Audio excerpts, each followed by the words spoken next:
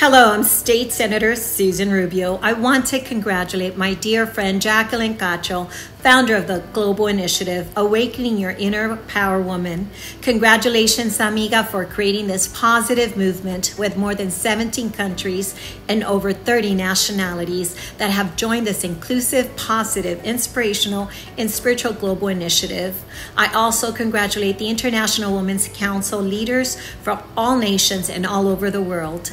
Women women and men that are joining this fabulous global initiative.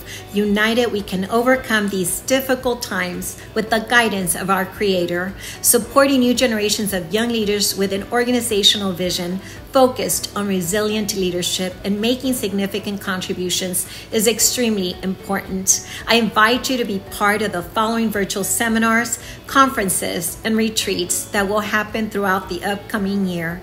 Mujeres Unidas Somos Imparables. Gracias.